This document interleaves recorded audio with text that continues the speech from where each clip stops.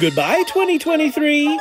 Now that he's gone, let's talk about him behind his back as Loop and Larry and their special guests Neil Temple and Virgin Radio's Backstage Ben review the pop culture phenomenon that was 2023. Hey, 2024, I hope you're listening. We have pretty big expectations. I got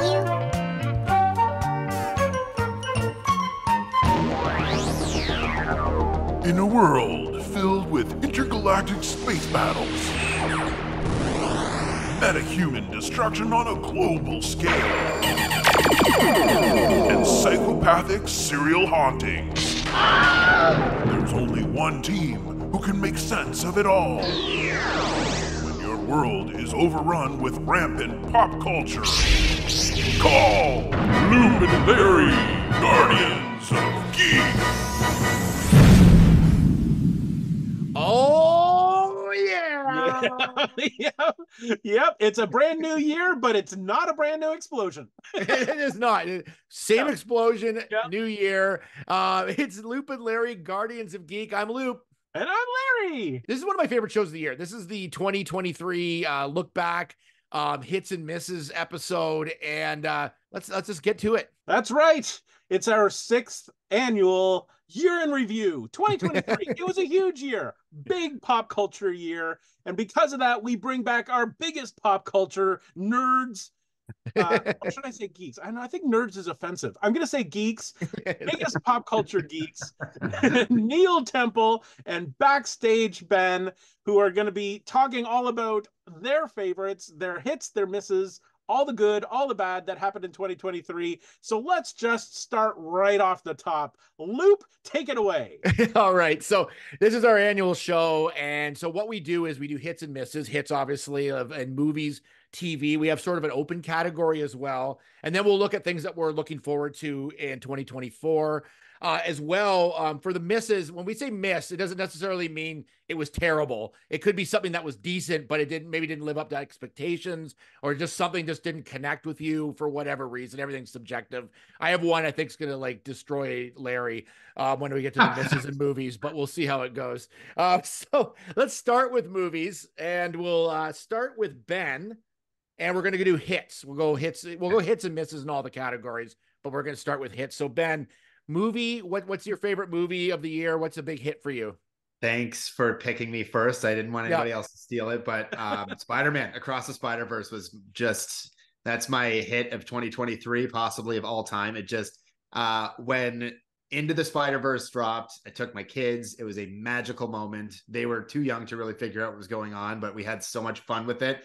And then since they've watched it on streaming and Blu-ray repeatedly, and we were all so excited to go see the second one. And you know sequelitis is a thing we all know. It's it's hard sometimes to live up to the original and to live up to the hype and the weight and everything like that. And it just it nailed it. And then leaving on such a cliffhanger. I love that. I love that when you know 100% it's going to happen like there will be another one and they leave and it's it's a full on you know star wars style. It will be continued from this very moment kind of thing. I just i adored it. I adored everything about it I adored all of the references. And I often I'm not a super referencey kind of guy because sometimes it's lost on me. Sometimes I find that it takes away from the actual story as it's trying to figure out all the Easter eggs and all that. But there's there's thousands in this one and it makes it all the richer for it. So I was just so very, very happy with how uh, Across the Spider Verse turned out. Yeah, before we go too much farther with that one, I have not seen either yet. What? I know. Yes, I know. Okay, I'm getting the beating stick. I'll be over in a second. Hold on. yeah, I'm getting my shillelagh. I ruined the show in the first two minutes. Well, good. Okay, so I mean, luckily that was a pretty spoiler free. I think. Yes.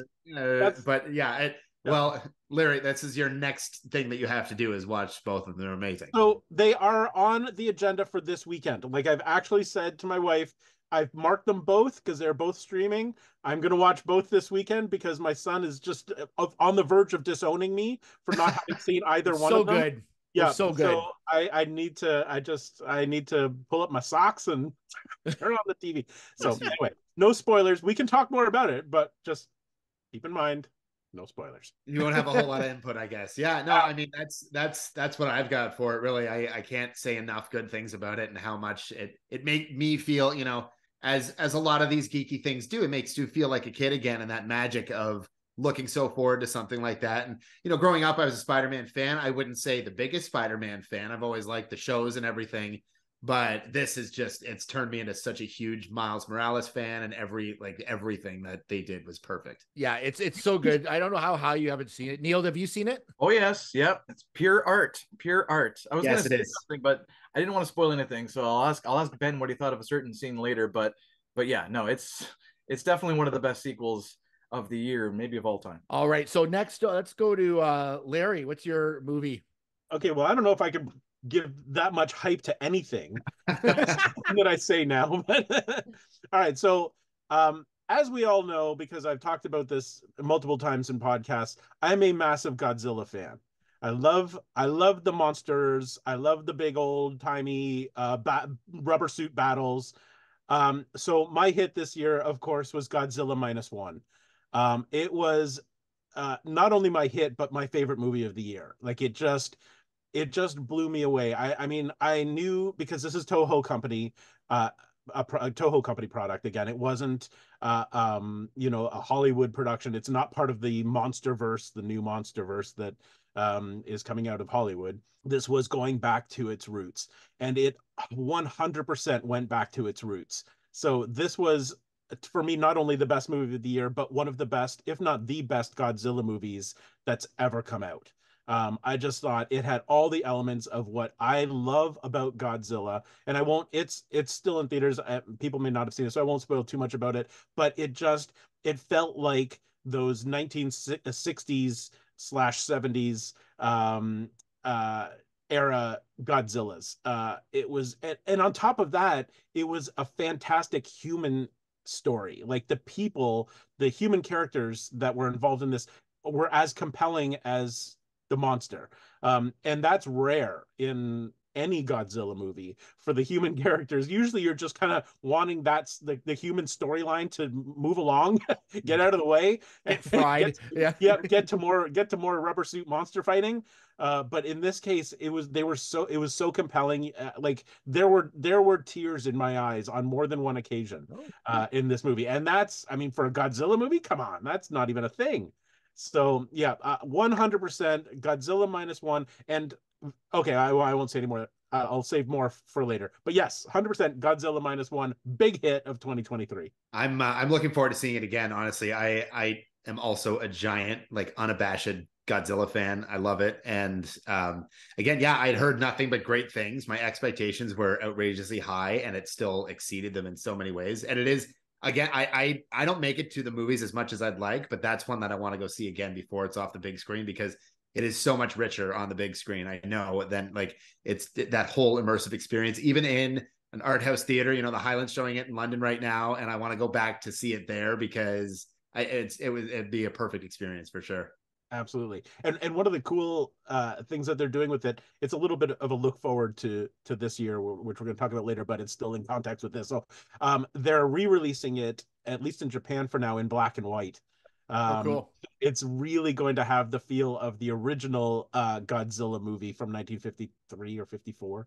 Um, and and that I think is going to be outstanding too. Like usually, you know, when you know a black and white movie you're kind of like ah yeah i'm yeah it's kind of cool and it's neat and everything but this i think will just add another level of authenticity to it so i'm i'm really excited i'm really hoping that it comes to north america i think right now they're talking about it just being released in japan um eh, have you heard differently Well, no, I was just thinking the trajectory of this whole movie. I think that they would be crazy not to because yeah. it went from a couple of hundred theaters in North America to thousands, and, and, like it, it went wide release because of the demand for it. So I think that you know the success that it's brought. We see movies re-released all the time, like Disney's re-releasing all their Disney Plus streamers over the pandemic era. You know, like I think that it'll be an easy decision to bring that black and white one back. Some theaters I've noticed in Ontario never carried it in its initial debut. Uh, same with some other foreign films that got a lot of critical acclaim. And the idea is that, well, people don't want to go to the movies and read subtitles, I guess. It's like the tickets don't sell. But because of the hype now, because of everyone's saying how much they love it, right? And, and a bunch of other movies too. A lot of these foreign movies are finally getting shown in certain cities, Mm. even here in Ontario. Certain cities did not show any foreign movies um, because they didn't think it was going to sell. But the hype, I hope, will sell it now. And it's more than just your average Godzilla movie. I mean, you know, the Bryan Cranston one was okay, but this one really, like Larry said, made us really care about the characters. So, two thumbs up for me for sure. Two. Big thumbs up. I, I'm I'm assuming Godzilla's in it, like at some point. Unlike the 2014 Bryan Thanks, Cranston one. thanks for spoiling it, guys. Thanks for spoiling it for me. But, uh, actually but uh, three. They just disguised it. It's actually Pacific Rim three, and they just okay, perfect. No, that's very very good. The director, the writer, and the visual effects guy is all the same guy. So like, what a master! Passion Yeah, project, awesome. right? Yeah, yeah. I can't wait. so good. Uh, Neil, I'm gonna say the movie that I don't think anyone else will say, um, because it seems to have hit me a, a lot more personally than some other uh, movies. It's another Japanese film, uh, ladies and gentlemen, and it is The Boy and the Heron, the final masterpiece from uh, supposedly final masterpiece from uh, Hayao Miyazaki. Um, Studio Ghibli, as we all know, all their films, Spirited Away and Princess Mononoke, and this one's just as good as anything they've ever done on an emotional level. This movie was like across the spider verse kind of in a way where it's it's pure art at times. There's things that happen on the screen that emote emotions and it gets the emotions out of the audience. It's a lesson for kids. It's based on a, an original story called how do you live which is about dealing with something bad that happens. Little boy's mother gets killed in world war ii he feels like he could have saved her. He's got ptsd he's you know going crazy with grief and and uh, uh, malice. And he goes through this cathartic process into this fantasy land that this heron it's not really a heron, and that's not a spoiler. It's in the trailer, you know. Um, it's not really a heron, but this heron shows him the way to getting over uh, what happens to move on. That the, the whole it's just a brilliant lesson for children and for everyone. Quite frankly, dealing with with grief and um, and and moving on. So, the boy and the heron, definitely as good as any movie I saw in 2023. Well, and Awesome. I, I I feel like um it may actually uh take the Oscar this year for best animated. I had thought that it might have been Spider Verse, but the more I hear about it, the more I see award ceremonies, the more I'm thinking that might be the movie of the year. Yeah, I hold slight resentment because I don't blame them for making that pick, but I was hoping that Spider Verse would win. Yeah. Yeah. Spider Verse is fantastic. It's really fast paced. It's a much Yeah. faster paced movie than The Boy and the Yeah. Heron.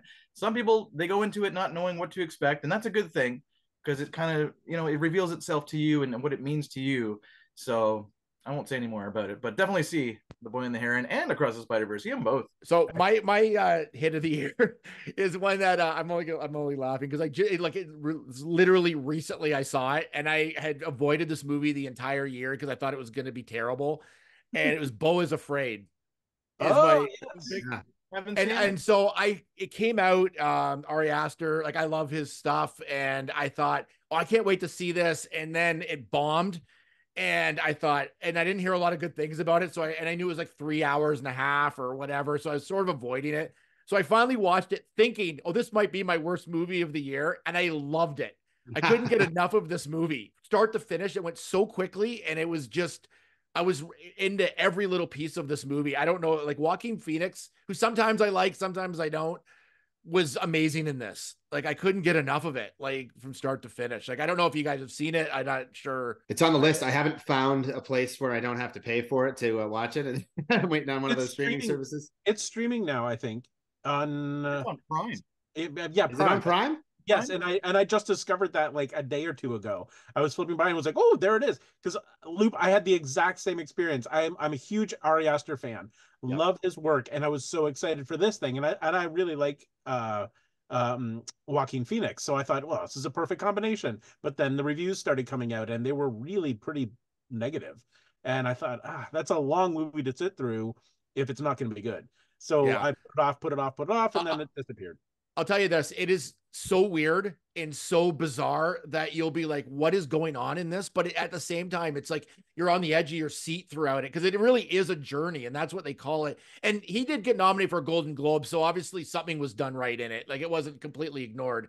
Um, but it was. It's uh, like to me is like as good as any of his other movies. It's crazy. It's not like a horror movie, but it's got horror elements in it, but psychological horror elements. So it's definitely worth seeing. It's really really cool.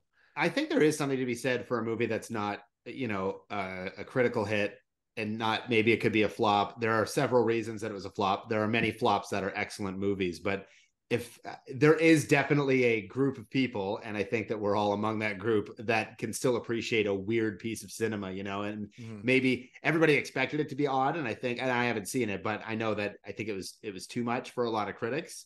And hey, I've got no problem too much. yeah, it's, it's a, it is a lot. There's a lot going yeah. on in it, and you're like, I don't know what's happening half the time in this, but it's it's just compelling. It's just very compelling, and Joaquin Phoenix is just amazing in it. Like he's just, I was blown away by it actually, to be honest. So I don't know, it was so cool. Um, I just want to bring up. Uh, so now that we've all done our, our top pick, I need to give an honorable mention. Okay. Uh, because because I I I, I went back and forth between this one and uh, Godzilla, quite honestly, as my number one movie of the year. But I had to give the left of ink to to uh, Godzilla. But um, Poor Things uh, which just came out uh, a few weeks ago, just just under the wire, so it could be nominated for all the uh, all the award shows. Yeah. Um, is phenomenal. It is by far the most original uh, uh, movie that you'll see in the this well going forward. um, even though it's based on a, a, book, it's I mean it's not original. It's not original an original concept, but the storytelling, the way it's shot um visually it's it was i was not prepared the the trailer does not prepare you for what you end up seeing um did you see it neil i did and uh yeah. I'm glad you brought it up because speaking of movies that kind of like split the audience and split the critics in some ways like a lot of critics love poor things yeah. but a lot of people that i when i saw the movie there was a lot of people that were like disgusted because oh, this yeah. is obviously the hard r rated movie right it's it's hard it's kind of a mix between Frankenstein and Barbie, if you think about it, because it's you know, Frankenstein, Barbie, and porn. yeah, it's a pretty uh, yeah. And Mark Ruffalo plays the greatest jerk I've ever seen. I think. You know, I saw Saltburn recently, and I really enjoyed it. But so much of the hype around it involved how gross it is in some of the scenes and poor things i've i've heard from some people how like overtly sexual it is but that's not the main thing you're getting from it like all the reviews they talk about how beautiful it is and how transcendent it is in so many ways but it's not like it it's not the the sexuality is not the focus of the movie there's nothing gratuitous. Like it's not it's not done for shock value. It's it is definitely part of the story and it's mm-hmm. part of emma stone's character's growth um and her experiences and it so it makes sense. It's just very there. Like it's just very but but for her it's just very matter of fact. Like it's just something that happens. So it's not like it's shocking i mean it's shocking because if you don't expect it it's shocking and if you're with your wife and your son it's shocking if i went if i went by myself i probably would have had a bit of a different experience because it wouldn't i wouldn't have been i wouldn't have felt so badly for my wife but she actually enjoyed it like she did she quite enjoyed the movie. She was it really it is quite a thing. So yeah, I that was that was teetering on the edge of my of my top movie of the year. So I wanted to give it a, a little bit of a mention right. uh right. just because it people should see it.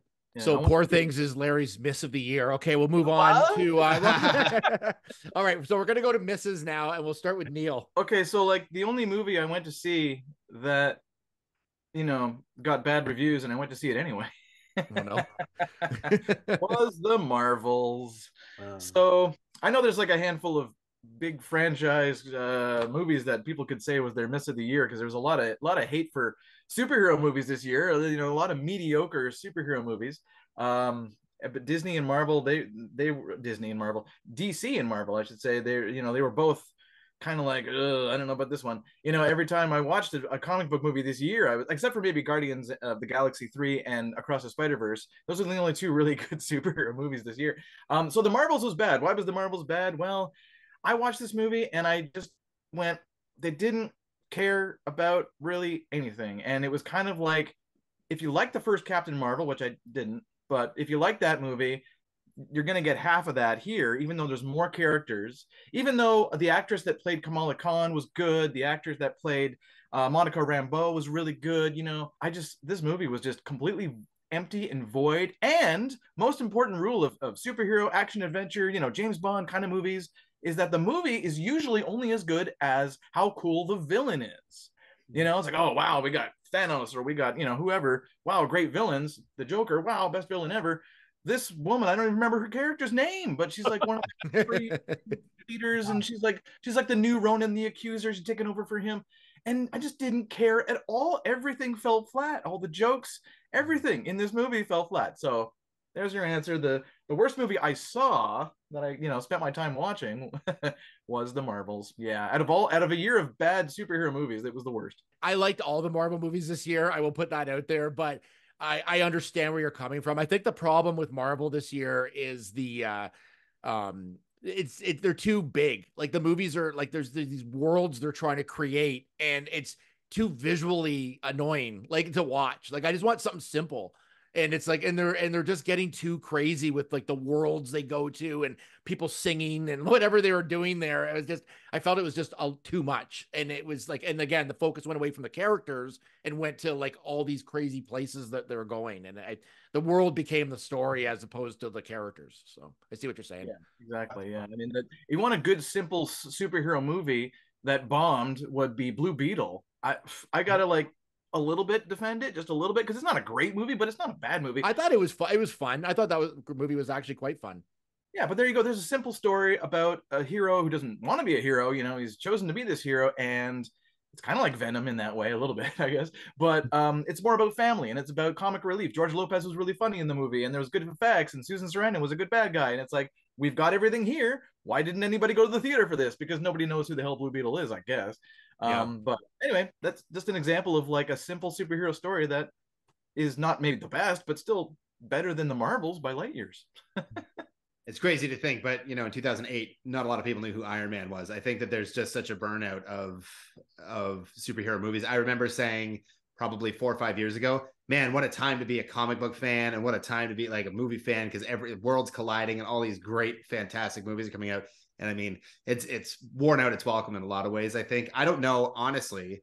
Like I said, I haven't seen a lot of movies in theaters. I'm not sure the last superhero movie outside of Spider-Man that I went to, like I went out of my way to see. Guardian Three was one of them, but I haven't seen a lot. And this is coming from the guy who was all caught up, you know, right up until uh after Infin after Endgame and all that. Catching up, and then it just started losing me after a while. I think that they forgot uh how to make the movies and just that they needed to make the movies. Yeah yeah. I think that that was the problem is that they just were cranking them out. It became a factory you know i mean with the right around when disney took over?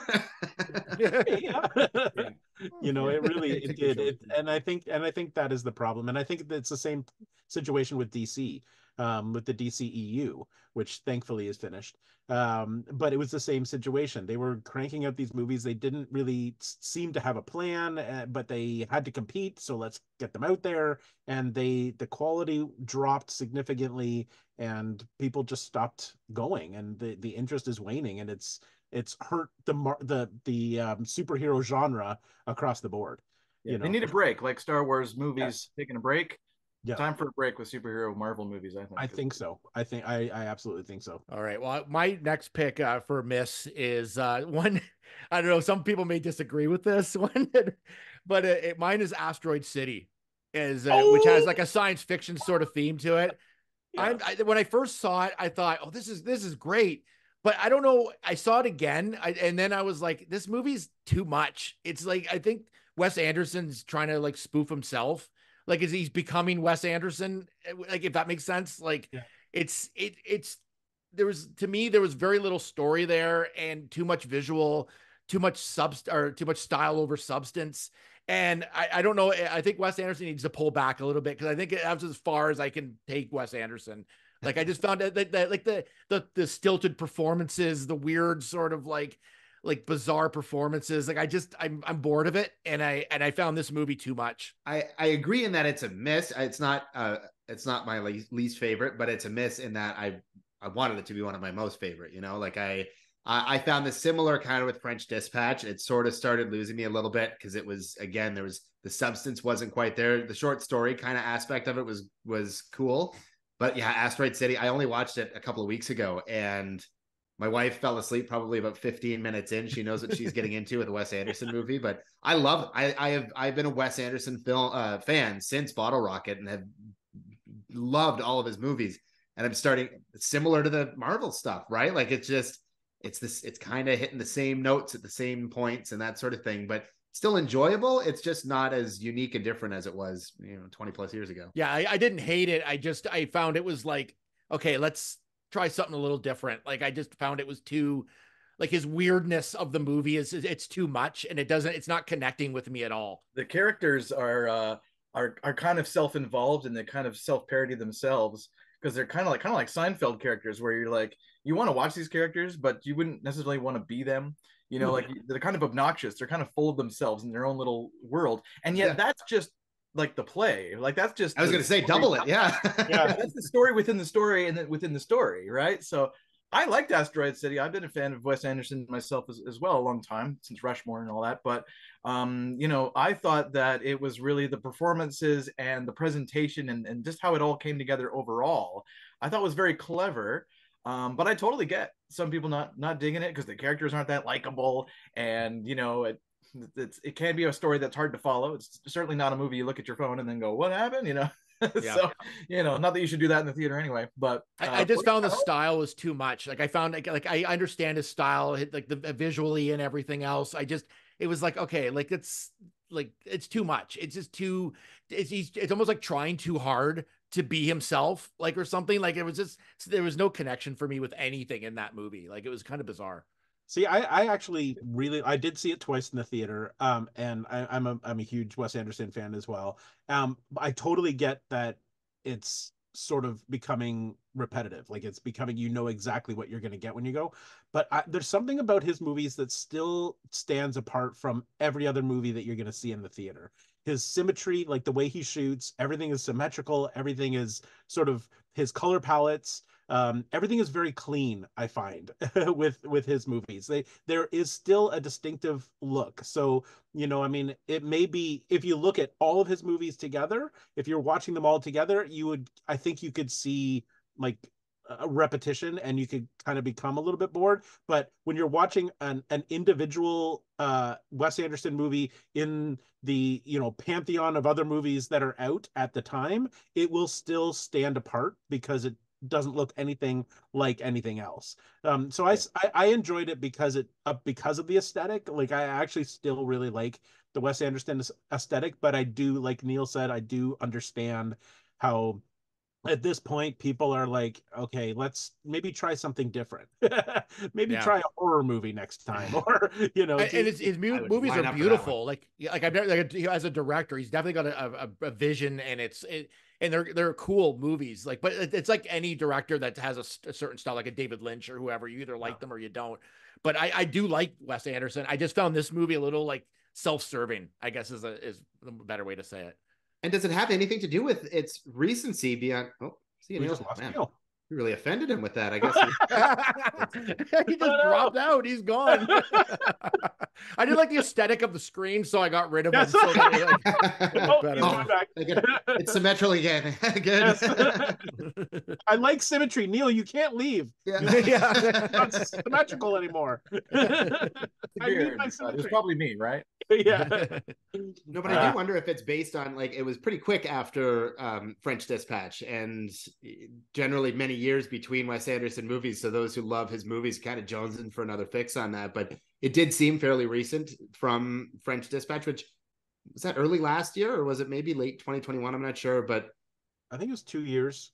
I- I was it two years? Yeah. yeah. It, it seemed like, you know, back in the Rushmore and Royal Tenenbaums and Steve Zissou, there was like several years in between each one. So you kind of get, you're waiting for another one. And it was also much more, I don't want to say fresh because I still, I, I really like him and I consider myself a huge fan of Wes Anderson, but I just do wonder if it, it's almost a little bit of burnout, perhaps. All right, Ben, what's yours? I'll make this quick because I know we've gone long on some of these. Expend4bles. I hated it. Man, it was awful. Oh I, uh, God, you you actually watched that? yeah, I did. Well, I, I loved I Couldn't loved the first two. I really enjoyed the first. I own two. the first two, so I shouldn't talk.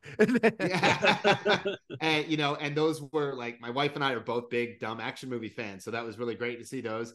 Third one, you know, watered down. That was kind of the messaging was just they tried to reach a broader audience by watering it down, making it PG thirteen, blah blah blah.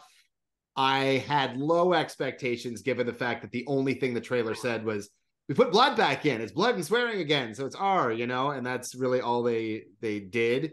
But it was just it was bad, bad. It was it was cheesy in a way that the first even three weren't in that they they leaned into it, but they didn't over the top go cheesy. And this was just bad. It was just it, it felt like a full on cash in, like the third one, except worse somehow. Oh God. is it is it done? I haven't seen. I've never seen them. I'm not a, a huge fan of that sort of thing. So, the first two are fun. The first two Yeah. are definitely fun. but yeah. is this was this the last one?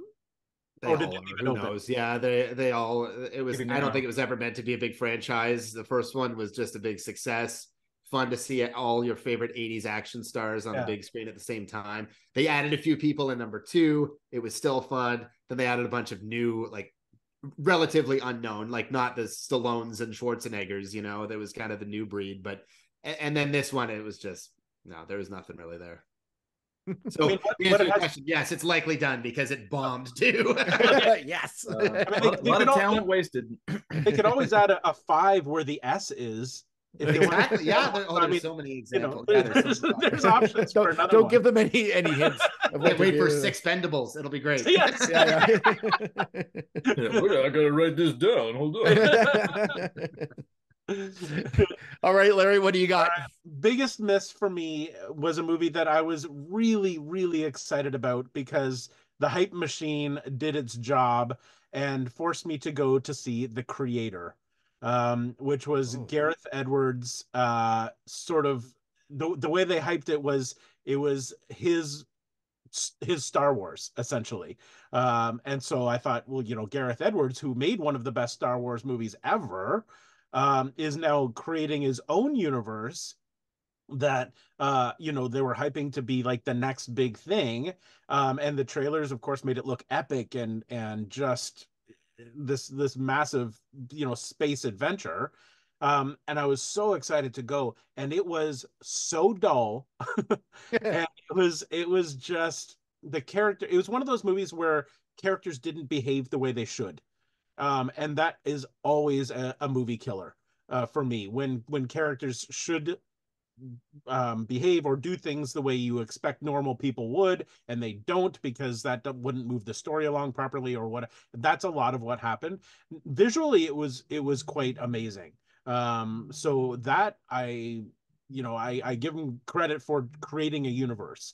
Um but he just he just felt so flat with the character development and what they were doing. I just i was just i was so disappointed coming out of that movie big big miss for me It's crazy to show how much of a splash it was. I had to really cycle through the Rolodex of what the hell the creator was when you mentioned it. I, I know what I you're I talking never about now, it. but it Yeah. was not on my radar at all.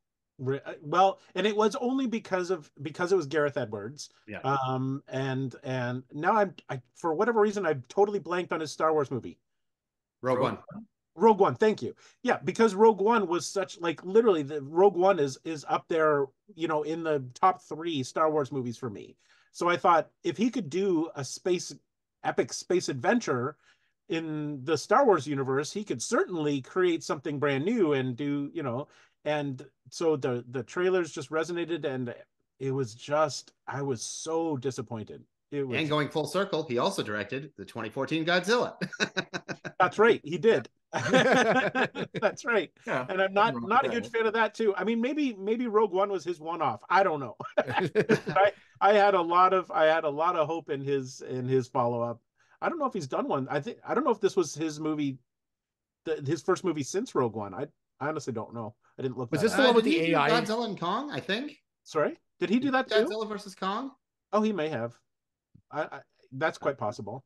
Um, but yeah, this was sorry. No, this wasn't a. Uh, this, sorry, Was this the um, with the, the little girl yes. with the? Is that the one? Okay, I remember seeing Yeah, the, the, previews for it, but it's essentially uh um the world has been overrun by uh tech like by by robots it's it's it's the terminator yeah, okay. it is you know Sky, skynet has taken over Is Will Smith in this at all? Is there like the uh no? Uh, okay. I think so no but yeah Okay, that's essentially, that's essentially the plot it's skynet has taken over and Okay. and the world is is Oh. overrun or is is been being run now by by androids um, it was uh, John David Washington, wasn't it? But the- yes Yeah. But it's so, the yeah. humans' fault. it was the humans fault Yeah. but But that's the what- androids aren't uh, aren't uh, uh, evil killers as the uh, T no 800s and stuff. Whereas it's a little No, different that way. they're not they're they're just self-realized uh entities now and you know, but they've taken over. But it's you know, it's the humans are trying to take back their planet. is what it is. It's not, I guess, not the most original concept, but it just I was so bored. it, was, it was just yeah, not I what I quick search and Gareth Edwards all he's done he did he did monsters was his big first one in 2010 but he did Godzilla then Rogue One and then this one so he's not he's Well, that's a it. big, oh, big special effects guy but as far as directing that's all he's done interesting. So yeah, so Rogue One was was sort of a, a one off for him. I don't know if like I really thought that he was going to be the guy I was going to follow from now on. well, yeah, uh, no. Still love Rogue One, but all right, all right, let's move from movies to the uh, small screen. We're gonna go to hits for TV shows. And Larry, you're jumping right in off the top on this one. anytime Mike Flanagan does anything, No, no. ben and I just literally lose our minds well in advance. Like like months and months in advance. If there's even a even a hint that Mike Flanagan is up to something, we're all about what's he gonna do, and we're gonna we're gonna be there for him. And uh, this year he launched Fall of the House of Usher. I just thought it was it was fantastic. I just I really really enjoyed this this series. I don't know that I would consider it his best. Um, I still think um, um, uh, Midnight Mass is probably his his best, uh, followed very closely by uh, Haunting of Hill House. Uh, but I I just it it literally it's it's an Edgar Allan Poe homage. Um, and every have you all seen it?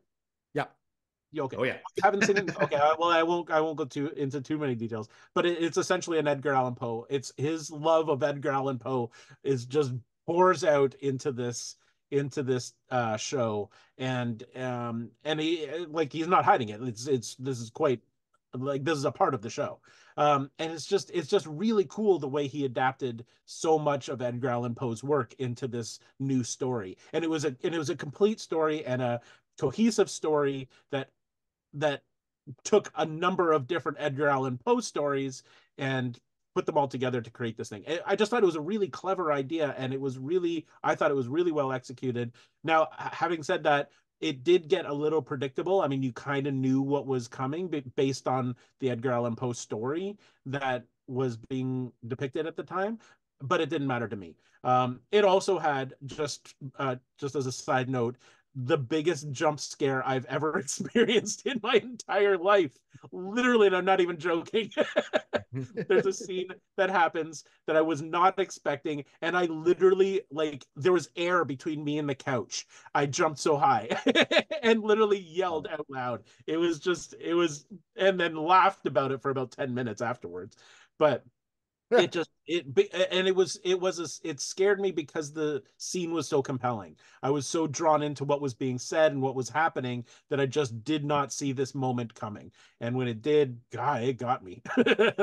And uh, so you know that's i think that says a lot about uh, the quality of this production. And so i've decided to put it right at the very top of my list this year. Nice. all the, the all that I can add because I agree 100% to all of that is I didn't think I'd be such a fan of this huge trend of like eat the rich stuff that's going on right now like White Lotus and like super rich having horrible things end up happening to them. But man Yes. Mike Flanagan nailed it. Like he did such a good job and we've seen it in all the headlines. It's it's Poe uh, mashed up with Succession sort of thing and it's such so well done with amazing performances the performances as we said, like Henry Thomas's best thing he's likely ever done Ever. and or will do Yeah. because we love the guy. He's not the best actor. He's fun to watch in a lot of cases, but man, he's brilliant in this. yeah And Carla Gugino, all Gugino is always amazing.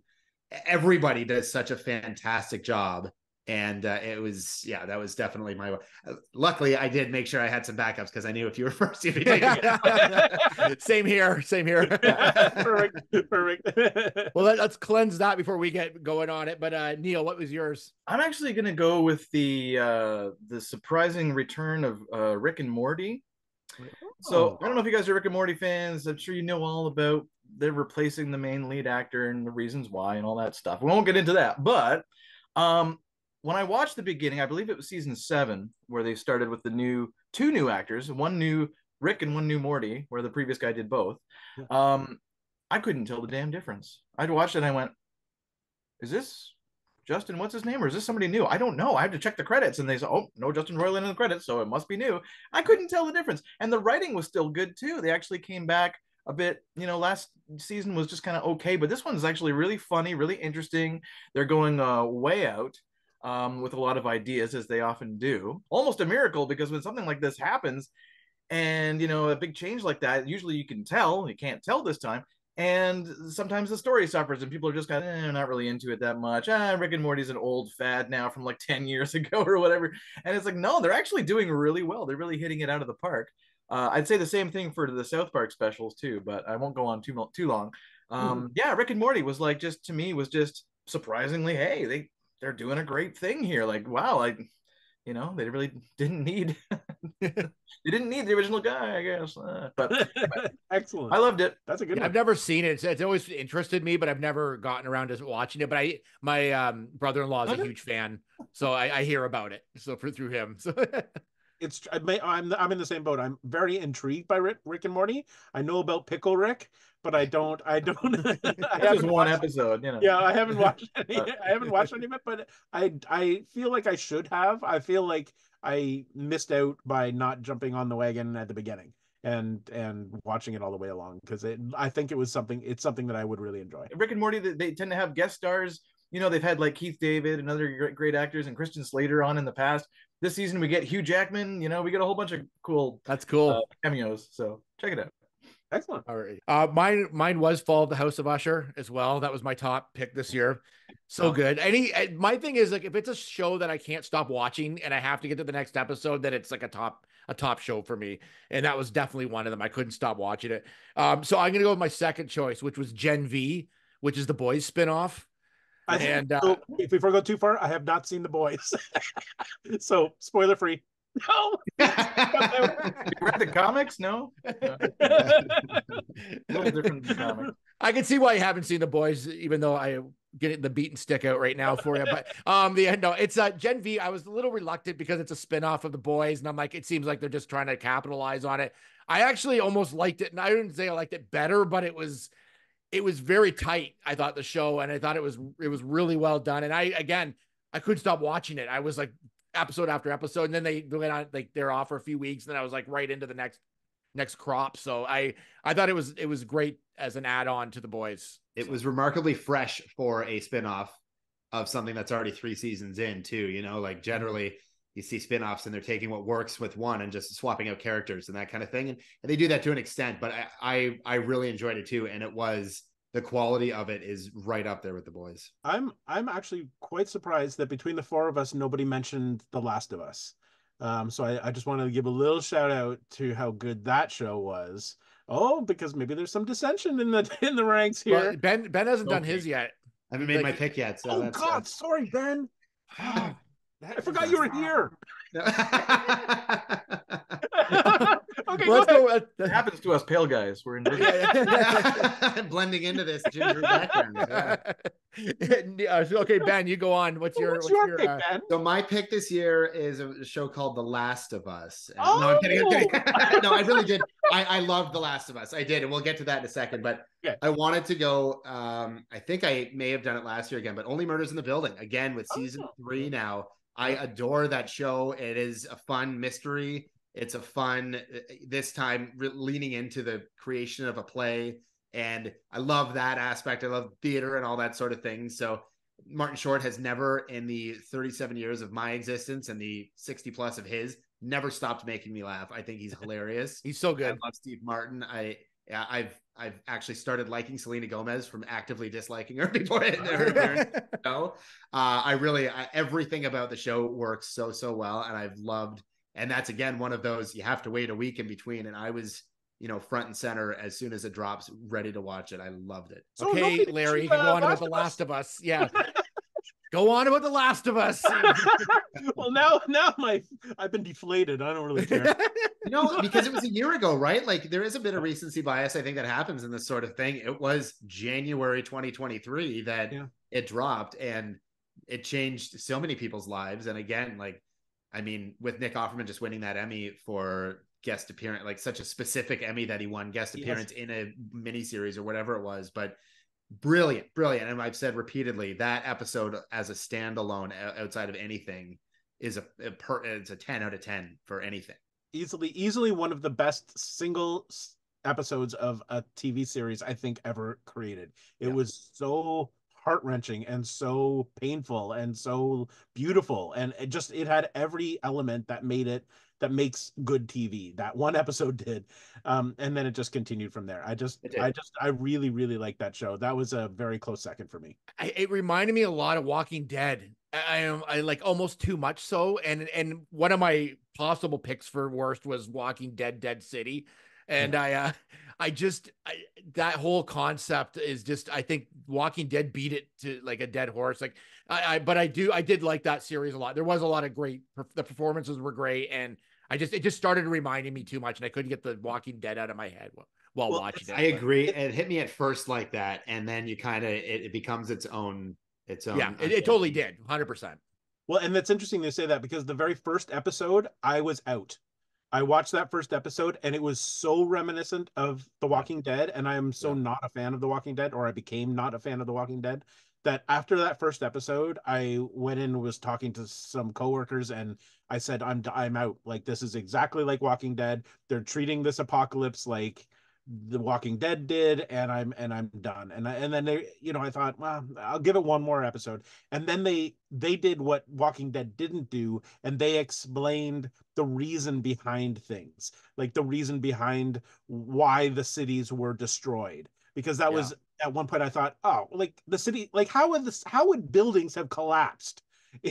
these are just zombies. They're not like you know construction workers who are pulling you know iron bars out. Of, like I never understood that. I never understood that in The Walking Dead how cities physically collapse. But they ex- they actually explained it in this episode in this series, and there are a number of situations like that where they actually gave you reasons for things happening. And that's what i want. Like i want to know why the the you know the cities look the way they do and the people were behaving the way they were. Um, and that's not what i got from walking dead. So that's what made me love this show is that they remembered to give you background and and to give you context. And and the context has made the show for me. Putting it on my list to watch again? Yeah totally 100% it's a lot like the game. I wanted to say that the adaptation was very close to the video game. I played oh, through yeah. the video game.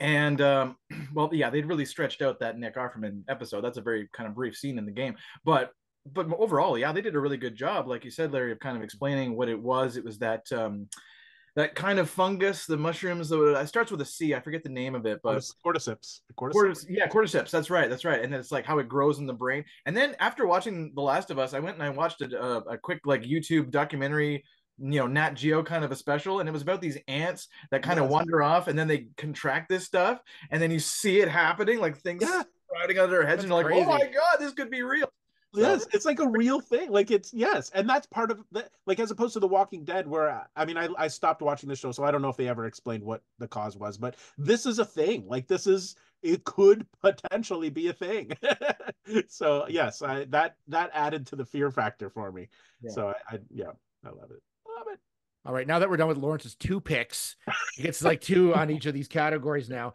Um, we're we're gonna go to TV misses. Neil, we'll start with oh, you. Okay, I want to get specific on one episode here. Oh, um, oh, nice. I was going to say uh, the Walking Dead spinoffs, but they're just boring. the one, the, the episode, uh, there's okay. So Mandalorian season three. Okay, uh, I'm not like all these haters and Star Wars fans now that are just they hate everything. It seems on on Facebook and stuff, YouTube. But I got to point out this one episode. Mm-hmm. Um, like I like Bo Katan and I kind of like the story and I like you know the the way that it was going and everything and overall the sh- the season was fine by me. I'm not slamming the whole season of Mandalorian season three, but the one episode with Jack Black and Lizzo and Christopher uh, Lloyd. Okay, I got no, I got no problem with these people. Of course, I love these people, but what are they doing in Star Wars? It just took me right out of it. You know, it's like one thing to get a familiar face, like okay, Katee Sackhoff is pretty familiar. Okay, you know, we get a few familiar faces here and there, but they're known from like other sci-fi stuff, and they're known for these kind of things. When we get like, you know, a, a, a great comedic actor like Jack Black, or we get a great talent like Lizzo, or we get an awesome actor in Christopher Lloyd that everybody knows and loves, but just seeing them, it just to me, it just it takes me right out of it. I'm like, I'm not watching The Mandalorian. I'm watching the cameo show. Yeah. watching, like like an Entertainment Tonight special on this or something. It seemed like it's just like you took me out of it. And over and on top of that, the episode was crap. The whole episode was like Look, stupid. Like Christopher Photo Lloyd's filler. Yeah. it was terrible. It was absolutely wasn't even- terrible. so disappointing. Um, just that one episode though. But it wasn't- Just that one episode. As a series, I would say I actually watched all the way through both Walking Dead series, the the Dead City and the Daryl Dixon, and I thought they were both so boring. Larry, you think the creator's boring? Try watching this, man. Woo! So bored. But anyway, my pick is that one episode of Mandalorian season three. I, I have to I have to totally agree that that almost ruined the series for me that one episode and it was that was a Dallas Bryce Howard episode uh which made Oh, it even worse because she has been an outstanding director in that series uh, up to that point so when there was a Dallas Bryce Howard uh episode coming up I was so stoked I was like this is going to be fantastic but it was your your your uh, description as as a uh, as a cameo episode is so perfect because not only was were those celebrities in there but she was trying to build a new world someplace we hadn't seen but she populated it with literally every alien that we saw in the cantina in the in a new hope. Like she didn't even give us new aliens. Like there was like a, there was like a greedo in there. There was like literally every and and the the the holy modes like the the band they were playing in there. It was like it was like a best of star wars in this one episode but you can't do that if you're giving us a brand new planet like if you're giving us a new world that we've never seen before it needs to be brand new it's Yeah. you know it's, it's like she took us to florida and all of the you know, all of the aliens went to vacation there or something i don't know it was which it was was Tatooine just, already. Yeah. it was just awful i was so disappointed in that episode like that Like It's Which was crazy in an era of 10, like eight to 10 episode seasons. They're all such high budget. There's no timeline. They can release it whenever they want. Yeah. Have a filler episode like that. You know, it's not 26 weekly episodes that you have to get done. Yeah. It's Yeah. when do it eh, your own pace. Eh, Take a year, take a year and a half. Who cares? It'll come out. Everybody's gonna watch it. But to have a filler episode like that's insane. Yeah, And- and, not like and the not old only- Batman TV series where it's like, oh, who's the guest villain this week? Yeah. You know, like we're gonna recognize him because it's Vincent Price or something. But this is like, yeah, it's just like, it, it- does Jack Black and Lizzo being in this episode make people want to watch The Mandalorian that aren't already watching? Like, I don't think so. So it seemed pointless. But not Yeah. only that, they did things in the episode that didn't carry through. For some reason, Lizzo crowned Grogu as king or something, or or gave him some sort of royal title. Of course. What is that? Like she didn't even she had just met this little guy, and all of a sudden she's now he's part of the royal family, and then and then then that was it. There was no follow up with that. Like he doesn't Yeah. carry his royal title on through the rest of the universe. I was like, what is That's, happening? that's what the new movie's going to be about. Lizzo and maybe. Grogu. Yeah. King Grogu. Yeah. that sounds like a Godzilla monster. Yeah.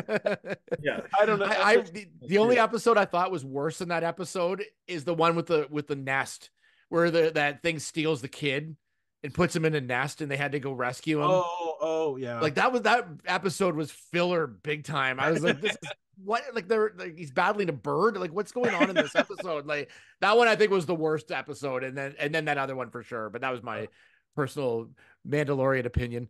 Yep. Mandalorian is what I like to call it. Mandalorian. uh, it's ruined for all of us now. Yes. All right. I'll go next with mine. Um, I- I had to pick Secret Invasion on this Oh. one. I, I sorry, I, Marvel needs to be in misses on all the categories. Um, but Secret Invasion, I was actually kind of excited about because it had the, you know, sort of a, a little bit more of a spy sort of thing, and and it was like. If you've read the comics with Secret Invasion, it's a much longer two-year storyline. This was like they they used I think two movies to set this movie up with with the Skrulls, and it was terrible. Like it was just it, it, it was meaningless. Like the thing in the comic was the reveal of all these superheroes that were taken over by Skrulls. And you're like, oh my god, Spider Woman's a was a Skrull this whole time, and and you could kind of look back and see how they were directing things as the as the, the Skrulls taken over. This had none of it. Like it was just it was. I don't know. It was a useless series. I didn't think it was well done. I didn't think there was just what was the point of doing it other than just to put the name Secret Invasion on it. I just didn't understand. Like Marvel's trying to grab all these like kind of really cool storylines from the comics and then quickly making them into movies and things. And I don't they they got to like let them breathe, and they're not. They're just trying to like whip all this through. It's like through the machine. And I, I and now you know what, sir, I don't like it. Yeah, agreed. Agreed. 100%. Yeah. That's the microcosm of Marvel, right? Exactly as you said, Loop is they, you know, we cared so much the first phase of these movies and everything. We loved the characters and it did we immediately? I don't know. I don't know that everybody loved Thor after the first Thor, but they eventually become to love Thor. And it's that sort of thing where they're like they're hammering us with so much right now, and they're like, love these people right now. You gotta love, them. you get invested, and that's it. and it, they don't give you the time, or like you said, the breathing room to actually really start caring. Skrulls are supposed to be bad guys, like all of them. And then there's this civil war, this rebellion, this mutiny by this one Gravik, I think it was his name. yeah. Yeah, oh, it's just it started off so well too. Like the first episode of Secret Invasion, I thought was really awesome, and then it just down the Yeah. slopes, you know, like oh my goodness, yeah, pretty pretty lame. And like you said, Matt, it was so much smaller. I mean, they couldn't do like all the Avengers and X Men and all these characters maybe, but they really made it such a small thing, just about uh, Nick Fury and um, Rhodey and and whoever else. You know, yeah, it was it was kind of a waste of time. Yeah. Basically. I'm glad I didn't waste my time on it. ben, what was your uh, miss of the year?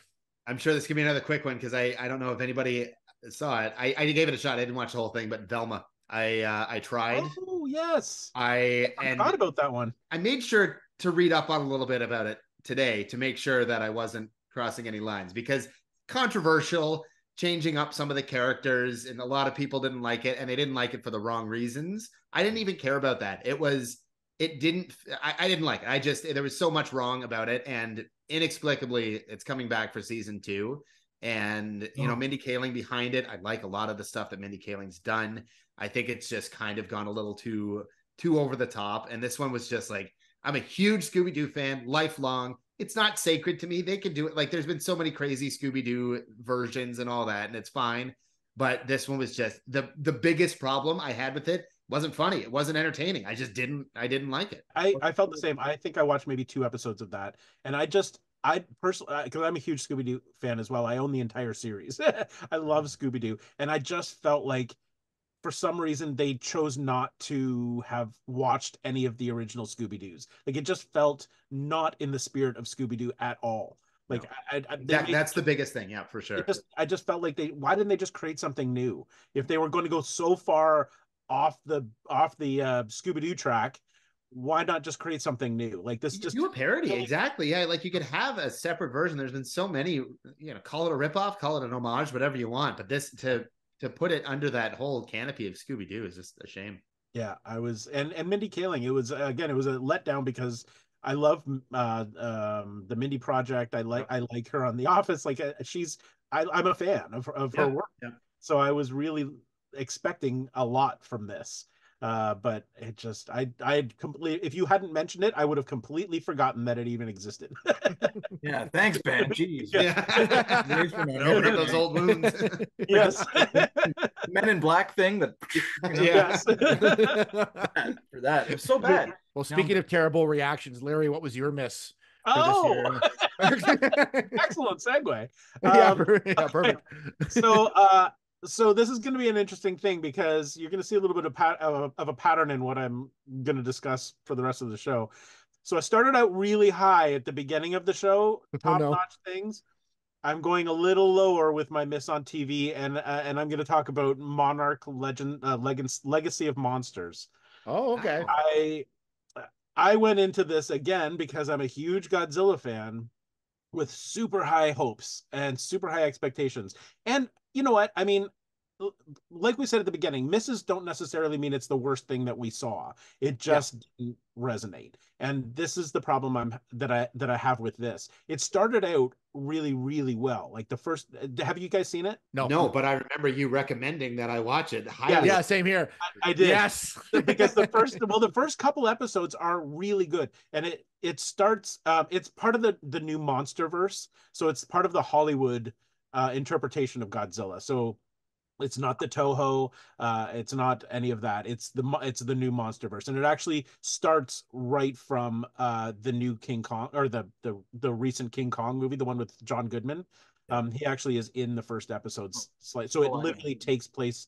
It starts there and continues. So that's the universe that this is part of. And I'm I have to say I'm not a huge fan of the new Godzilla movies, uh, of the monster, the new MonsterVerse. I'm much more of a classic Godzilla guy. so the, Cool. it started there. But um, the premise was really cool because this is essentially like an origin story. It's it's it's really where uh, Monarch, uh, which is the organization that monitors the monsters on Earth, began. It's character driven. It's not um monster driven. So if you're going into this expecting to see Godzilla a lot, you're really not. Um, and the problem with that is that then you have these human stories that have to be compelling um, because you are going in to watch monster battles. But instead, you're getting what we all hated about the original Godzilla movies was the human stories. You wanted those to go away so you can see the monsters. That's sort of what this becomes. As of the taping of this podcast, uh, the final episode has not aired. Uh, it airs actually. We're taping this on January 11th. The actual episode, the finale, airs on the 12th tomorrow. So I I don't know how it's actually going to wrap up, and maybe gonna this eat your words. What if it brings you right Maybe back? you become- We- it we can wait. We'll just wait until it I'll just airs. sit here and wait. Okay. Uh, all this. I- We'll start I- again in a couple of days. Yeah. the problem is that at this point, I'm not overly enthusiastic about the ending, and I should. So that's that's why it's left me flat. Not the worst show I've ever seen, but it just it started out really really well, and it progressively got boring. All right, let's move on to the open category, which is it could be a movie, a show, a book, a comic book, like uh, video games, industry trends. So it's, basically anything that we haven't really covered, um, or things maybe we have covered. So let's start with the hits, and let's go to Ben. I am not a huge video game guy. I have a couple of games I really love a year, but this year, and it's been my entire life, like this has been a part of my entire life. You guys can probably tell from here. Uh, I got here. Oh, jeez. I got it there. Um, Legend of Zelda: Tears of the Kingdom is one of the all-time greatest games ever made, and it's uh, it's a direct sequel to another one of the all-time greatest games ever made in Breath of the Wild. And you know, for anybody, if this is out of your realm, it's what used to be like linear dungeons. You have to pass a level kind of thing. Breath of the Wild, they went super open world, so you did your own thing, and yet you're in a completely different world than you've ever seen before with Hyrule. And then what they did with this one is it is a direct sequel, but they tripled it. It's a, it was what a giant open world was, and they tripled it. There's you go up, you go down, you go all over the place, and you it, it it's just incredible. I, I mean, for anybody out of uh, you know, if it's not on their radar, really hard to explain what makes it so special. But it's it was in again in every way, it was a perfect video game, and the way that they've able they've been able to swing, you know, the classicists who are like, oh, Legend of Zelda's never been the same since you don't have to beat impossible water temples. They, Mhm. They've really done something insane with with these new games, and they said that they'll never go back to you know the old linear style because I think partly success, partly the creativity that allows you for it. It's also now what they've included with this new one is um, a way to like build your own things, whether it's your own weapons, your own vehicles, your That's own all cool. these sorts of things that give you this opportunity to do that. And it's just again, it's taking what was a 10 out of 10 game and now making it like a 12 out of 10 game because they've they've made so much. And I, everybody was saying as it as it the trailers came out and the teasers, they're like, oh, this looks like DLC for Breath of the Wild. It looks like the exact same game. And then people openly ate their words when the game came Mhm. out and saw how amazing it really is. So Um, just a great time to be a Zelda geek. I love it. Were there ocarinas? Oh, uh no, but there's music. There's still music. Oh, There's still okay. some music. That's always right. a big part of the games for sure. Okay, fair enough. awesome. Neil, what about you? Let's pick a category nobody might pick. I don't know if you guys are even reading comic books anymore. I mean, I don't I know if still do. them. Are you? Okay. Yep. Well, okay. Mine is um mine is really geeky. Um, because it's a big crossover. It's one of the most epic comic book crossovers of all time. and it is Teenage Mutant Ninja Turtles versus Street Fighter. Whoa! Oh wow. aware. You're not aware. I think it's IDW that put it out. I, I could be wrong, but um, I bought the first five issues, and I thought, okay, this is going to be you know silly or whatever. And it, it turned out the dialogue is actually really great, especially like Raphael and uh, and some of the some of the stranger Street Fighter characters like Zangief and you know guys like that, um, and Bison, you know, uh, teaming up with Shredder, and uh, yeah, it's about I know it's it sounds as like juvenile and as, as geeky as possible, really, right? But imagine if they made a crossover animated. I would go animated uh, film based on this. That would be fantastic. They did do a, a Ninja Turtles versus Batman, and that was a lot of fun. Seeing Batman fight the Shredder and stuff.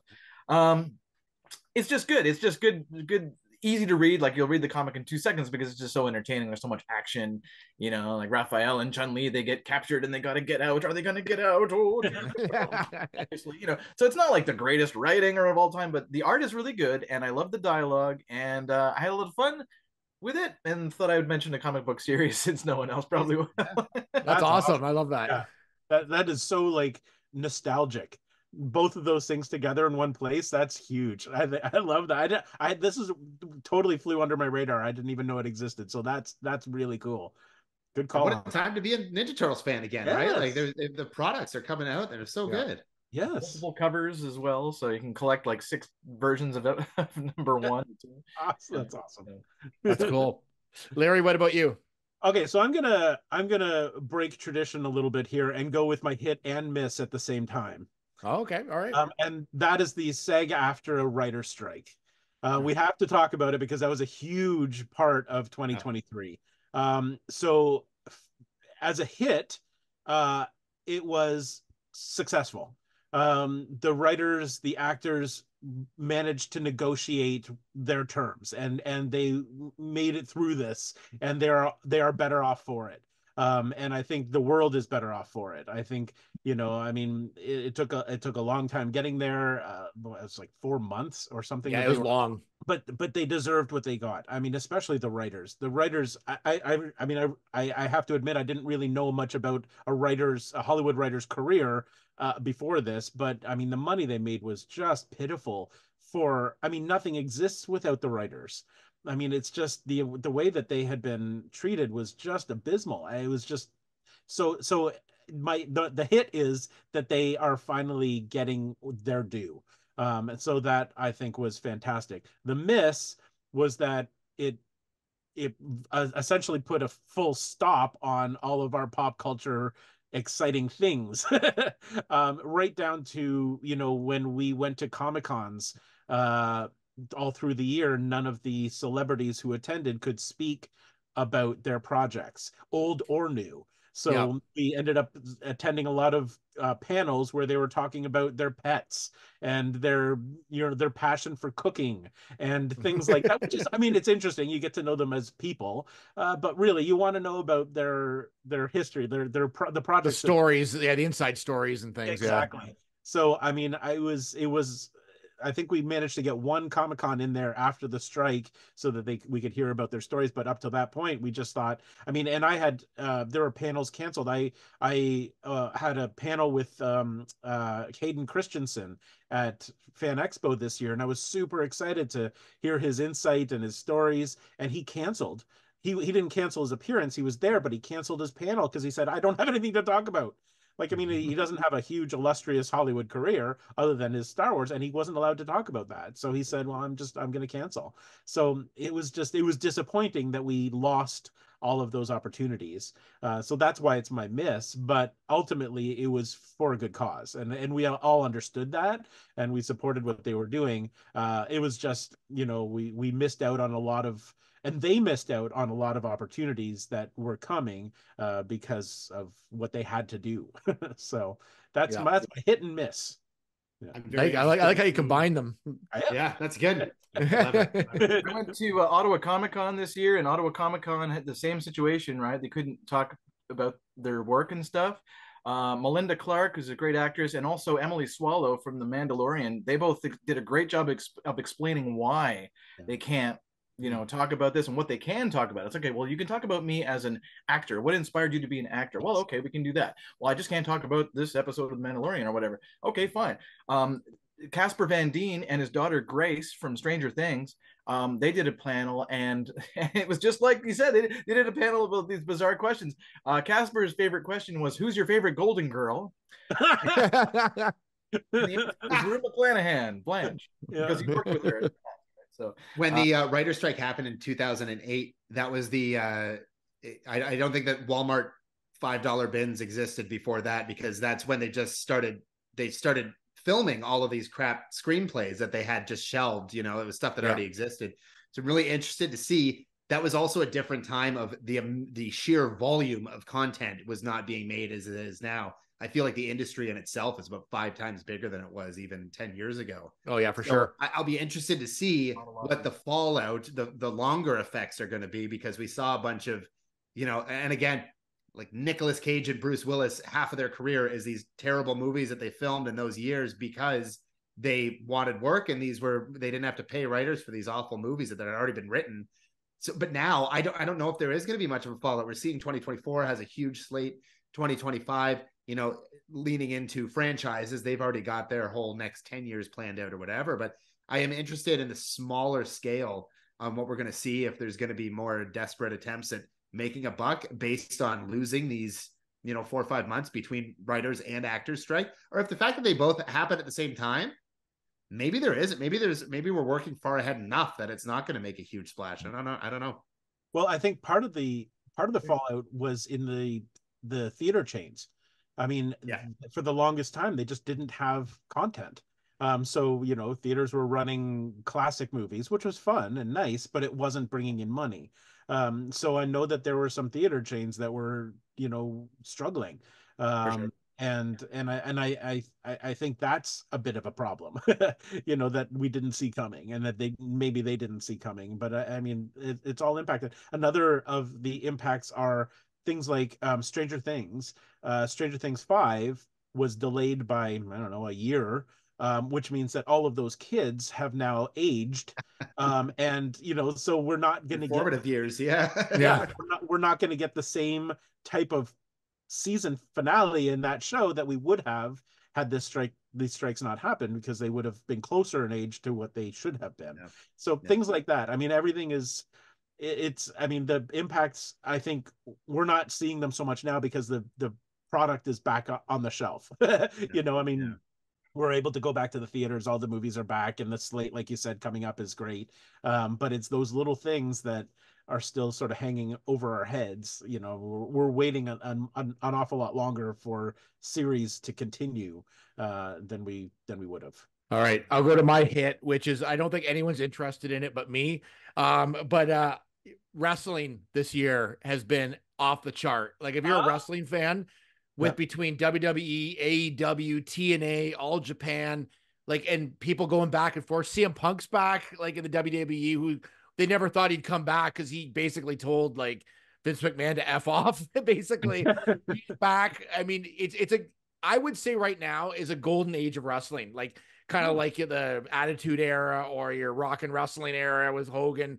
This right now, I think people won't appreciate it right now, but I think they're going to look back and go, "This was a great era of wrestling." It's just exciting. There's like there's the they're selling out everywhere. Like was it uh had um WrestleMania had two nights of almost hundred thousand people each night. Like it's it's insane. Like the wrestling community is it, like can't get enough, and it's it's it's a fun to be a wrestling fan right now, and I love it. I love every second of it.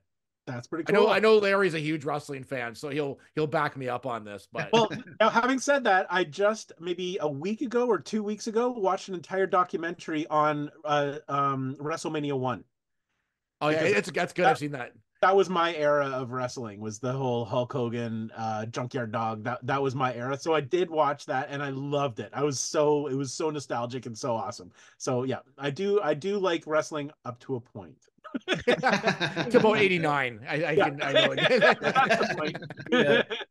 channel A and E, right, has done a, a really good job of Yeah. providing um, documentaries and other shows like uh, WWE's Most Wanted Treasures or whatever. and a lot oh of yeah, yeah. Broken Skull sessions, interviews, and stuff. And I've always said like I haven't watched wrestling like in a long time, really on a regular basis. I I, I barely know who's there anymore. Um, but I I do got to say that the behind the scenes interviews, um, people like the Undertaker, Mark Calaway, you should subscribe to his YouTube channel because he does the best interviews. He tells Oh, the he's, he's great. Now that he's not in character anymore, you can kind of Yeah. just talk freely about what he did, which is really cool.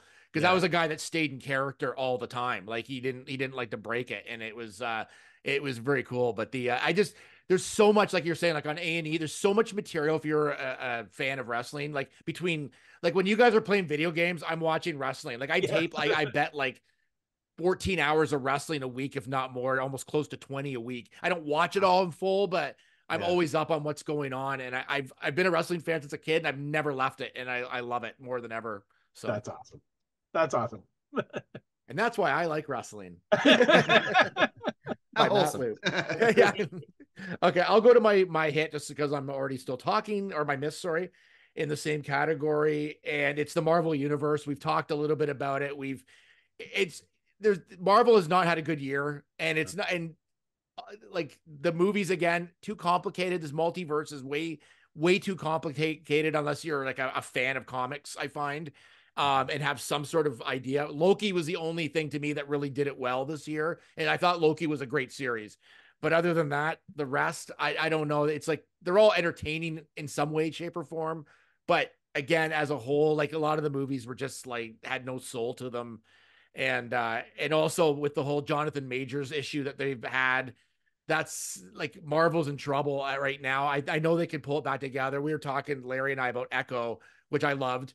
Um, hopefully they'll start to pull it back together and really get a new plan going and figure this out because I want to see these guys on screen as well sooner than later. So in the X-Men. So hopefully that'll all happen. But it just was not a good year for Marvel, and unfortunately, and hopefully they can look at what they've done wrong, fix it, and come back for next year. Because what's the rush? I think that's what it is, right? Is what's the rush? We don't need to blast all out as, as quickly as possible. Ben, I think you kind of nailed it when you said there's no timeline anymore. It's not like in the old days where you had a series like Lost that every September you had to have a new series Right. or a new season ready to go and you had to have 26 episodes and you had to that's not the way it works anymore. You literally can wait 2 years. You can wait I mean Mad Men waited like 4 years between episodes or be, between seasons or I mean that's you know we've come to accept that you're not going to get every September you're not going to get the next season of your favorite show.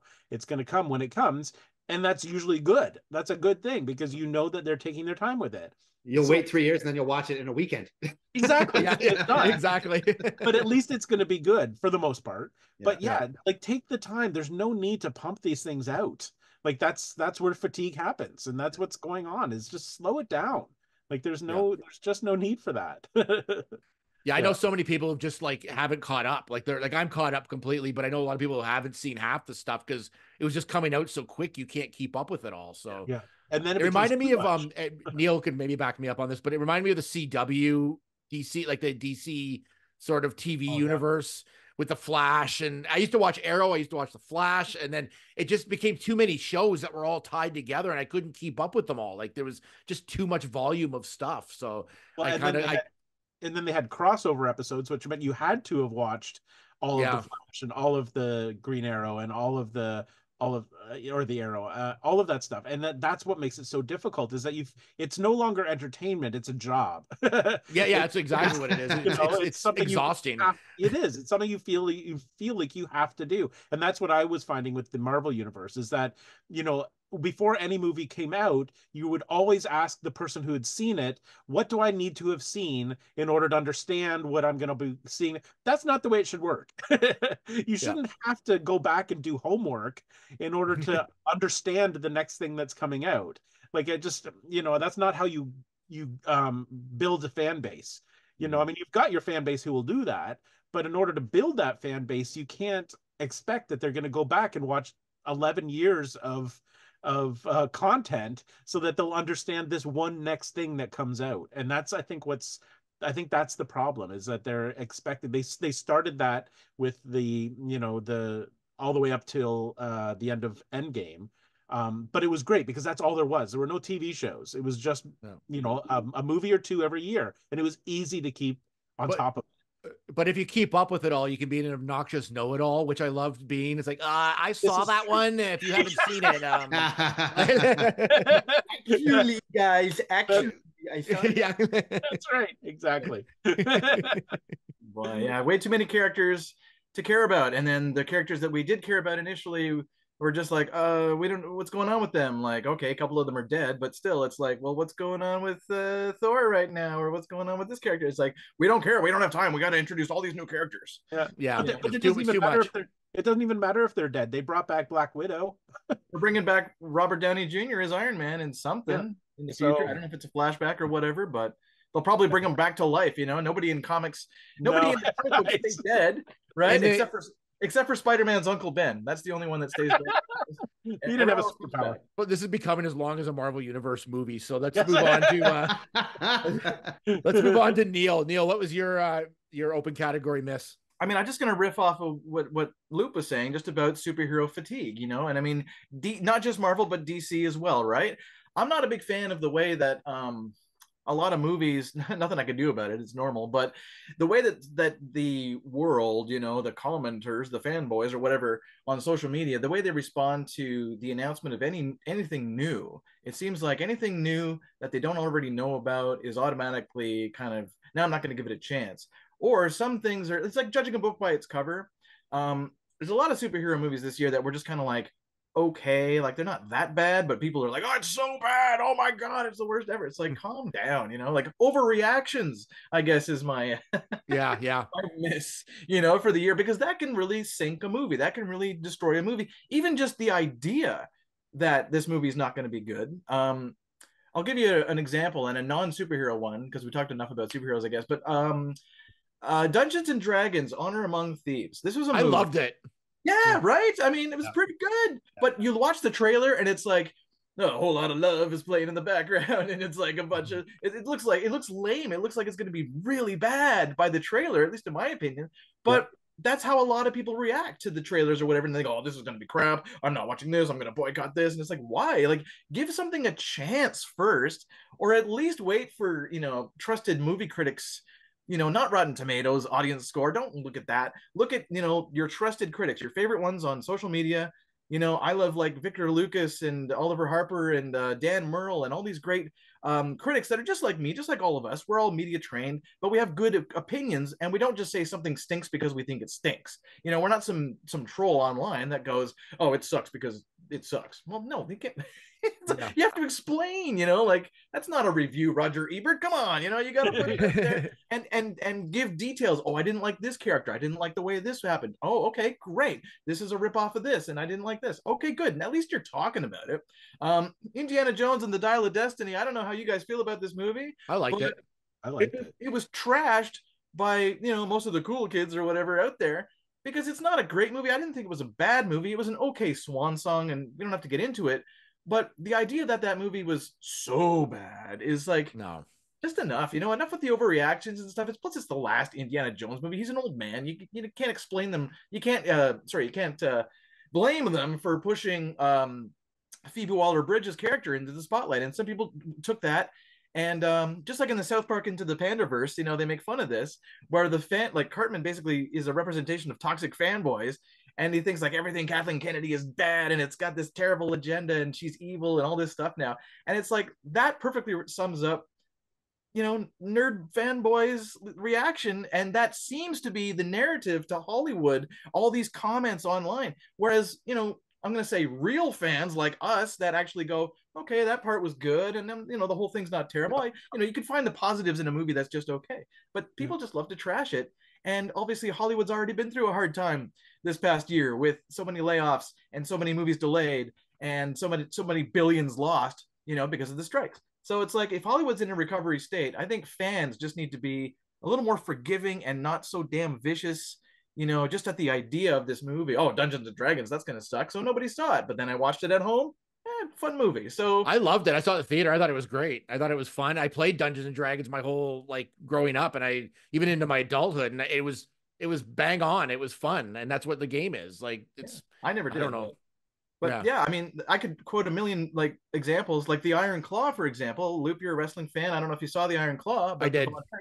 But that movie was like it got a lot of good critical acclaim, so I went to go see it and I liked it. Sad movie, of course, but I liked it. And yet I try to tell my friends about it, and they're like, Oh, wrestling? It's a wrestling movie? No, I I don't want to see that. That's wrestling. No, no, no. No, I'm too good for wrestling. No, no, no. Well, I'm the funny part is the family re- the, the best part of wrestling isn't the the wrestling it's the it's the storylines and the people and the characters that's the best part of it and the and sometimes the backstage drama like the real stuff going on is also just as interesting but there, there was a terrible Ric Flair in that that's the only thing I'll say Yes. but other than that the rest of better it Ric was, Flair. I, lo- I loved it. The rest of it I loved. I just the Ric Flair was a little off for me. Like the the probably the most I- imitatable person in, on the planet. This person couldn't yell it. I don't know why but but anyways. Should have hired me. I could have done yeah it. yeah that's right. There you go. all right Ben what about you? For me, now this is a hard one. Uh, I want to go broad and say streaming services in general, but for me, it's it's the wiping of of shows and uh, and and movies and everything from existence because they can. So we've seen, you know, uh, Coyote versus Acme. There was a Scooby Doo holiday movie, uh, Catwoman or Batwoman, um, and a show called Shining Vale. They they dropped the second season of Shining Vale on December 1st and then said they're taking it off of streaming December 31st. It's actually still available on Crave, which is good, but I have such problems with streaming now. And I, I've been echoing what Christopher Nolan said in an acceptance speech a couple of weeks ago. He said, you know, when when Oppenheimer drops, go out and get it on DVD because you'll never know where you can find it in the future other Yeah. than on your shelf when you have it, you know. And I've had such struggles trying to find what I'm looking for. Years ago, I remember hyping up Clue from 1985.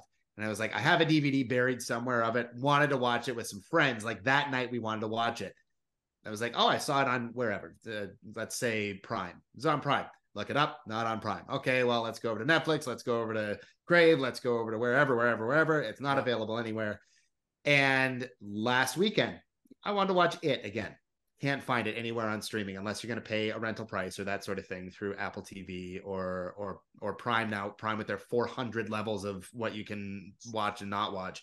It's driving me crazy. And as a you know fan of physical media in general, Luke, you know this as a as a record guy, as a DVD, Blu-ray guy, all that sort of thing. I've leaned into that so much. I was just saying before we started this, I was sick yesterday. I brought a stack of DVDs up to my room and watched a bunch of old Criterion movies. And those things you can't find on streaming unless you're paying the Criterion streaming service thing. you know, which I have. Yeah. yeah, amazing. That's That, the thing. I'll, I'll, sorry, I'll follow up with that because I'm watching Twin Peaks, the original series, nowhere to be found anywhere.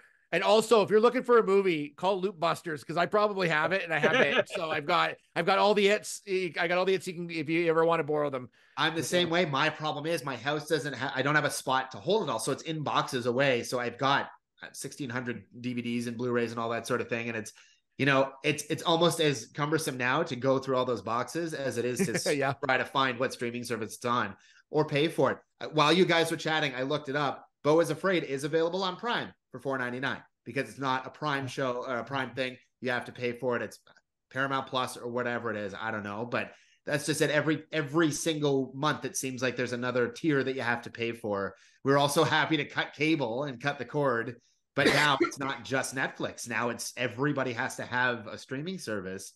Mhm. And there are, I think, some rumors that they're going to try to make more, you know, conglomerates of of everything in one service, but they're going to charge you for it. And if I'm spending this much on streaming services, I'll go buy the five dollar it DVD now at this point because I want to watch it again down the road. So Yeah. streaming has really gotten on my nerves this year more than any, and it's because you know glutton of choice or whatever it is. There's just far too many options, and you don't know where your money should be going anymore. It's so funny that you bring this up now because literally just last night, for whatever reason, I had this urge to watch Sling Blade. I haven't watched Sling Blade in years. Yep. And I was Yeah. like, it just felt like it just felt like the right night to watch Sling Blade. It was a, it was literally the perfect movie for that night.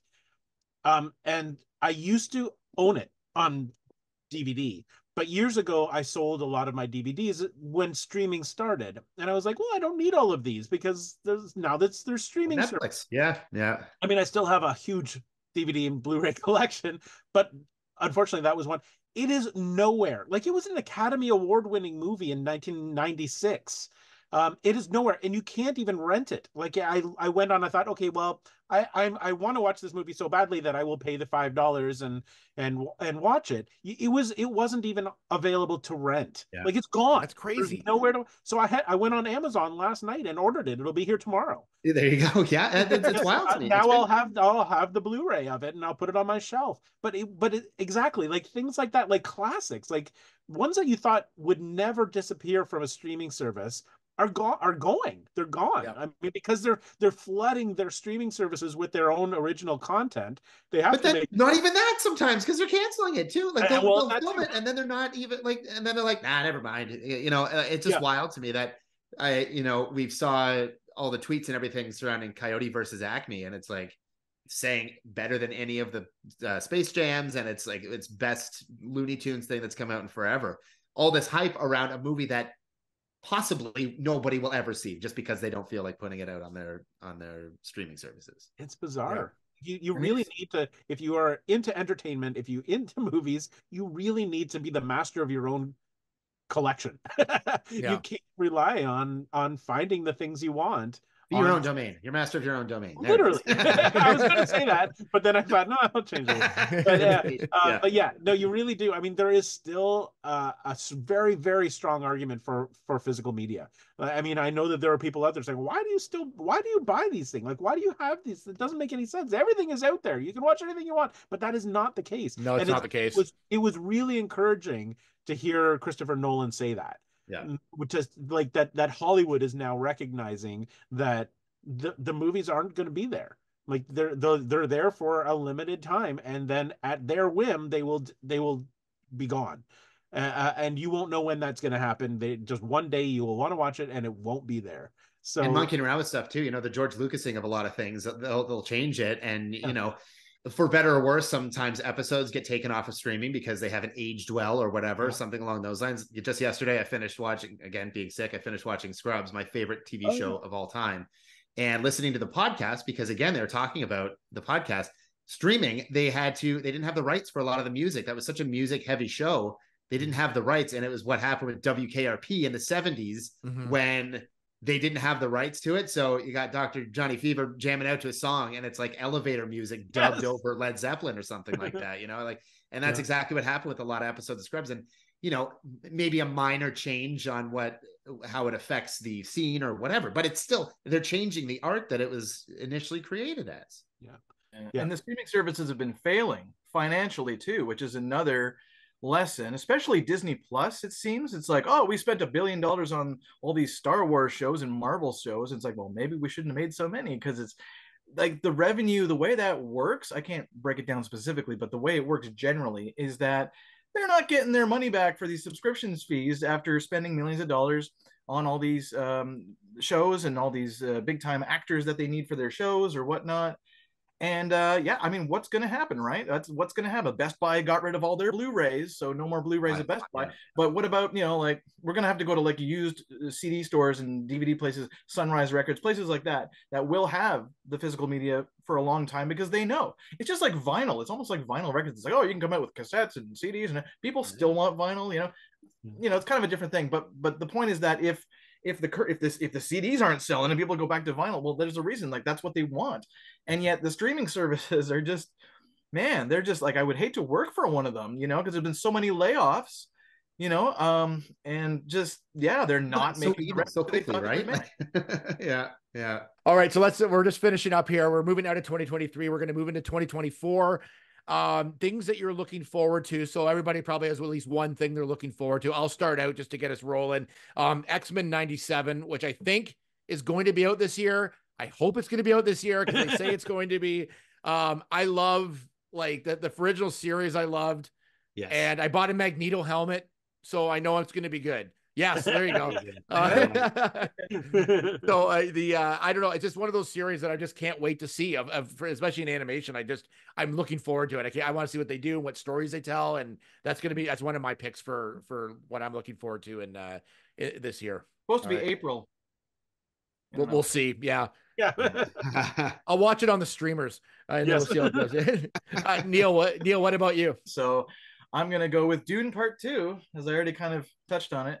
Um, Yeah. The first uh, Dune Part One, you know, the Denis Villeneuve's uh, movie, um, I think was so much more impressive than some people kind of expected. Um, you know, I mean, this guy's been able to adapt things and, and come up with like Blade Runner 2049. He was able to come up with these movies that are just like so much better than we deserve. I find, you know, it's that they put so much heart and dedication into his movies that I can't wait to see what he does to really conclude this main story. It's not the end of the Dune books, of course. You know, the Dune books go on for a while, um, but this is going to conclude the story. We're going to get um Austin Butler plays Feyd, so he's new in the movie. Feyd is the character that Sting played back in the Right. Knights Yeah. or David Lynch version. Get the same codpiece, I will kill him. You know, um, looking forward to that. Uh, Christopher Walken plays, you know, the Emperor of the Universe, basically. So how could you say no uh, to that?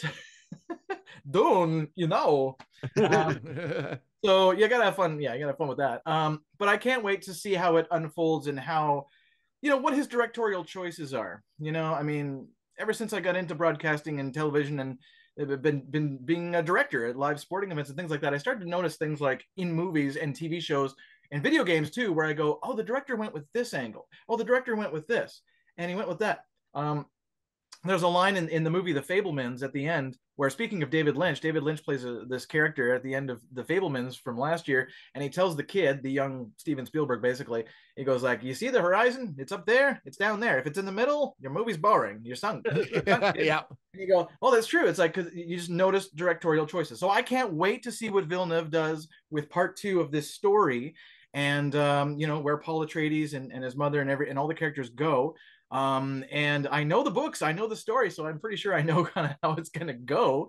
Um, but it's just very, very terribly exciting, and uh, I'm sure there's a few more movies coming out next year that are gonna be awesome. But that's the only one I can think of off the top of my head. So yeah, Perfect. looking forward to that, and looking forward to X Men '97, bringing back some, not all, of the original cast that's still living. Um, Yeah. and there's some controversy there, but whatever. um, can't wait. Can't wait to uh, to see both of those things. So yeah, I'll go Dune Perfect. Part Two. All right, Ben, what about you?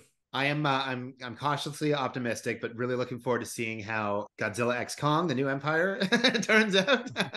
I know I'm gonna make Larry shiver over there, but I again unabashedly, I actually I had low expectations for Godzilla versus Kong, and aside the human side was not very good. That was really get rid of that stuff, but the sheer ridiculous over the top spectacle of the kaiju battles and all of that was so much fun for me.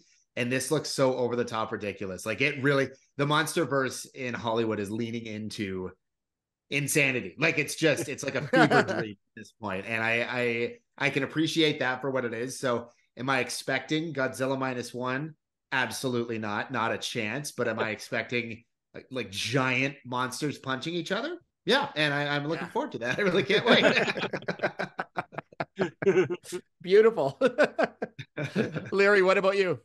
Um, okay, and so we've talked about how uh, franchises should scale back uh, because of fatigue. However, I'm very excited that Star Wars is not scaling back this year.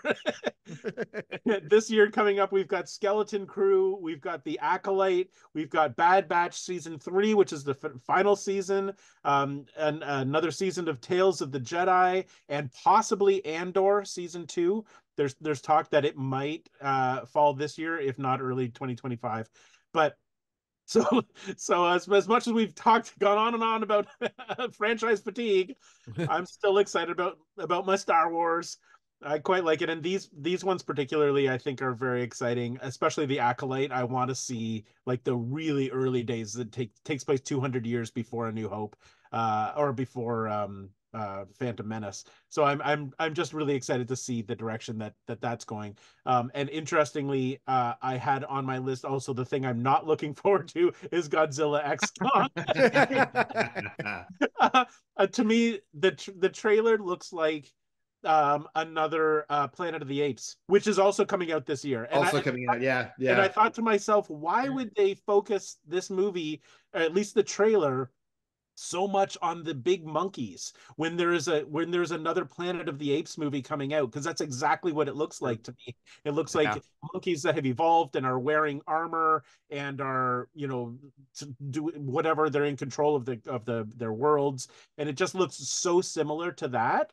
I don't want it like to me like Godzilla versus Kong, the original was a one-off and it was hilarious and it was it's still one of my favorites, but that was it was a one-off for me. Like that was that was enough. But I did like the Kong movie, um the the new Kong movie. I just think this is too many monkeys. Too many monkeys. I want to see more flying creatures. I want to see more Rodan. I want to see more Mothras. I want to see more King Ghidorahs. I want to see smog monsters. just monkeys are just monkeys. You know, I don't know. of all the possibilities, why all the monkeys? Yeah. so we'll see. We'll see how that goes. Of course, I will go see it when it opens, but it's not. We'll go together. We'll balance it out. Yeah. All right. Fair enough. Fair enough. Make movies better. All right. Well, that's our uh, year in review, uh, 2023. We won't keep people much longer because it's uh, it, it was it, I don't know, we're about like an hour and 15, hour and a half, so somewhere in there. I don't know, but it's a it, it was epic. Let's put it yes. that way. Um, so uh, thank you everybody for joining us for this, and guys, thank you once again, Ben and Neil. Thank you guys to bringing your expertise. It's uh, it it does it it break we it was a pretty well-rounded episode i thought as far as like our opinions and yes. what we brought to the table. There's a lot of yeah. different movies covered so thank you again for for all your uh expertise on everything that you brought and uh we'll i guess that's it. We'll see you next time on loop and larry guardians of geek. Bye-bye.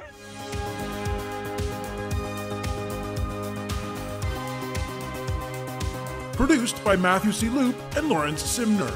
A loop and larry production. Bueller he likes it. Hey, Mikey. Bueller. Bad news. Fog is getting thicker. And Leon's getting larger. Inconceivable. Brian's right. It's an elf. Wax on. Does Barry Manilow know that you raid his wardrobe?